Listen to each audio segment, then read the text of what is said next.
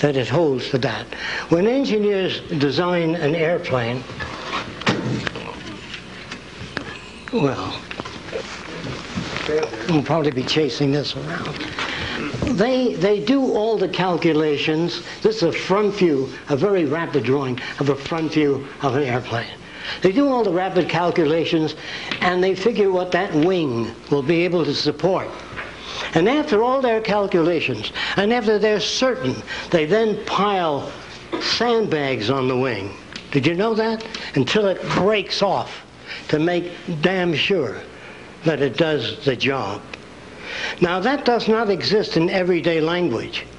In everyday language, you don't have that ability. When an engineer meets another engineer, he says, I can illuminate an area with this tiny point of light that has uh, 50,000 square feet. The engineer says, Well, that's not possible. He doesn't talk like that. He says, How do you power that unit? What kind of voltage does it take? How do you illuminate that spot? They ask questions. The average person, yeah, nah, not in a thousand years. That's been around for a long time. That is a language of war, of hatred, of bigotry, of prejudice, the inability to ask questions. And we've got to be very careful about that. And at one lecture I remember at Princeton, I was trying to say that human beings cannot think or reason. This is psychology department and sociology.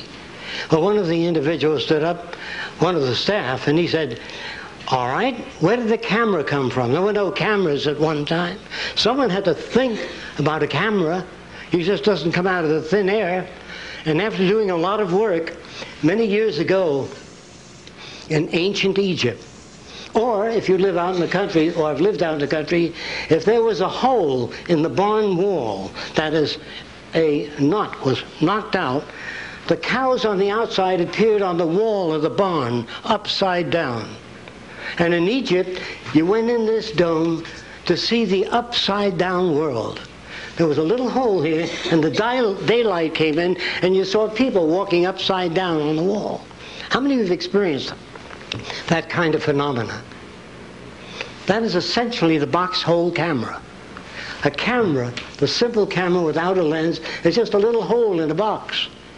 And somebody said, well, how can I make, how can I see that image? And they used a transparent membrane back here, and they could see the upside down head or a person or a cow.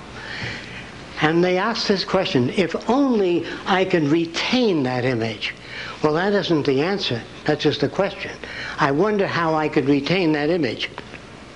So, years before that, the American Indians and other primitives have taken tapa cloth, or they'd weave um, natural materials into a kind of a fabric.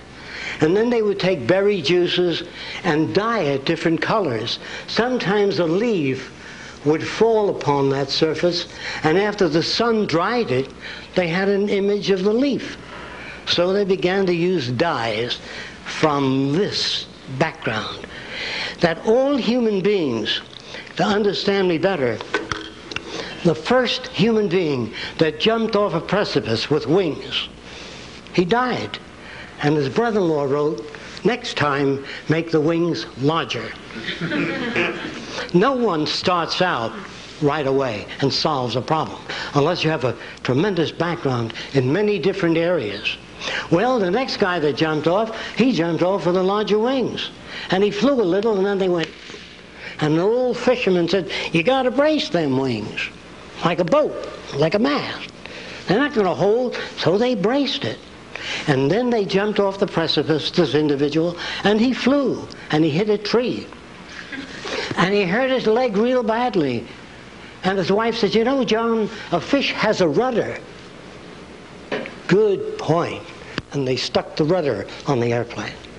No one ever sat down and invented a television set, an airplane, the electric light, wireless. None of that came about by men walking in, in deep concentration. And then, through some ethereal substance, bingo, the idea is formulated. It doesn't work that way.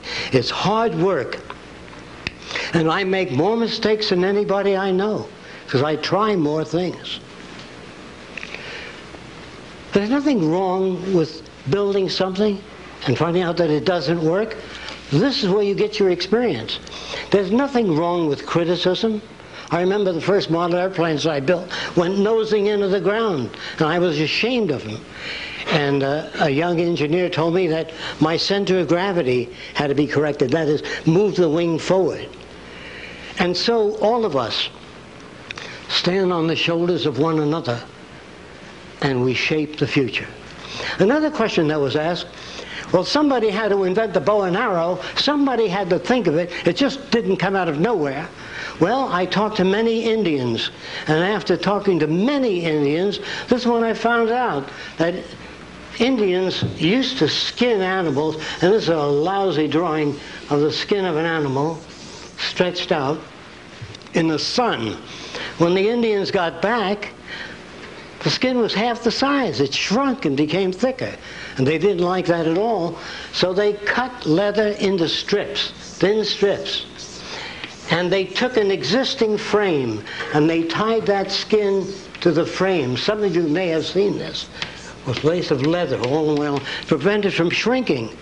But when they cut the strips of leather and put them out in the sun, they shrunk and became fat and short. And they were displeased with that. After many, many years, one Indian tied that strand of leather to a piece of wood, a, a stick. A stick.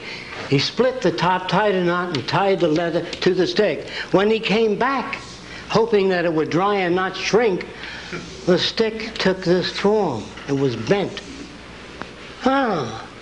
He plucked at it and went bong. Well, and after many years, somebody took another piece of wood, put it in, pulled the string, and off it went.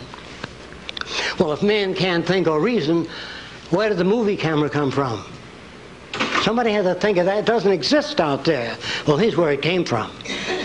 Many, many years ago, thousands of years ago, in China, they used to take a candle and they take some bamboo paper at the time and put it in front of the candle, and then they'd cut out a little figurine of a human being and put the candle behind it. And as the candle undulated, the little person would dance, and they'd play music. That was the beginning. How did that happen? Some guy had a candle and a piece of paper, and he was he just happened to be behind it, and his finger appeared to move on the screen.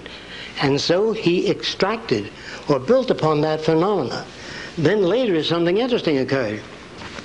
The Chinese used to take these tremendous scrolls and open them up. Well, they then later taped or they wired or they used gut and tied many pages together and built a kind of a pad.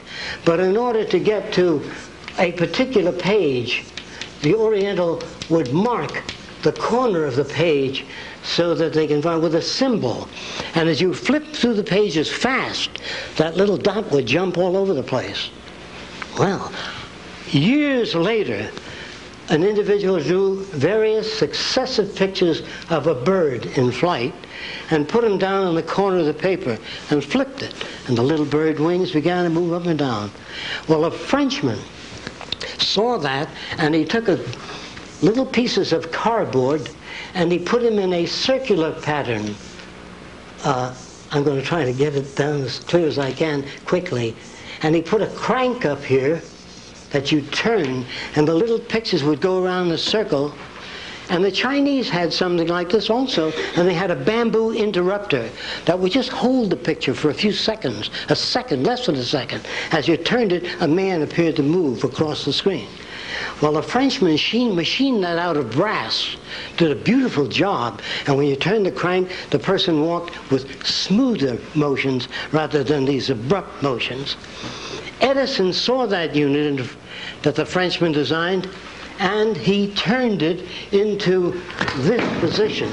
I, I guess I can't work with that microphone. Um, can you hear me back there? Okay. And what happened is uh,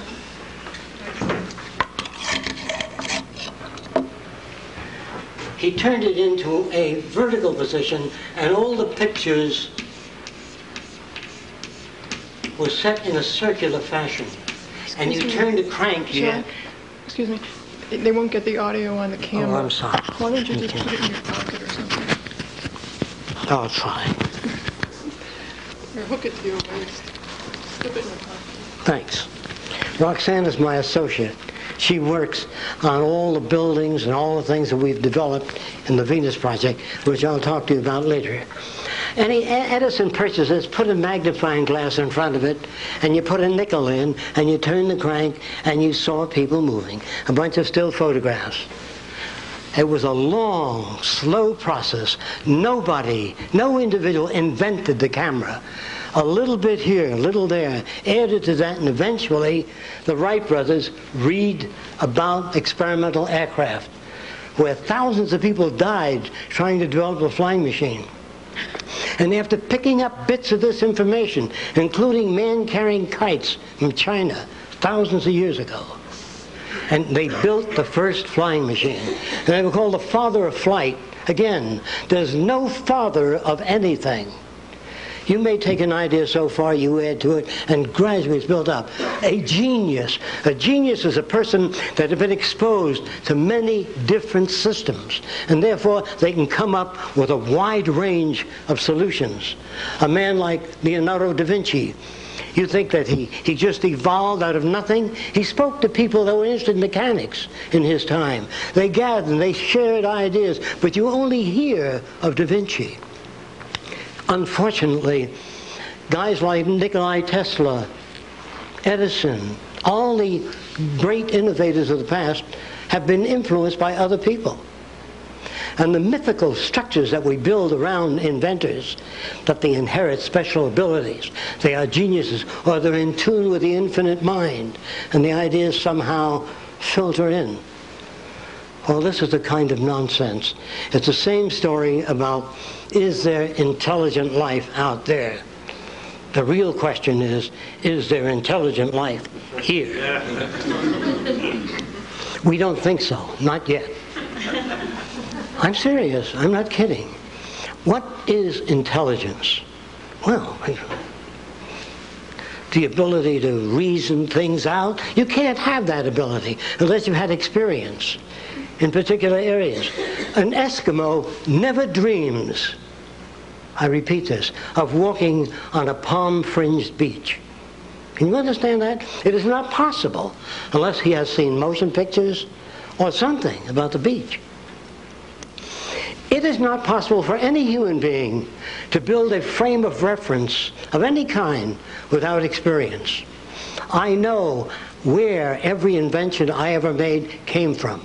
I know the influence, the books I've read, the people I've known, everything that shaped those values. And sometimes people say, well, when did you think of that uh, wonderful idea?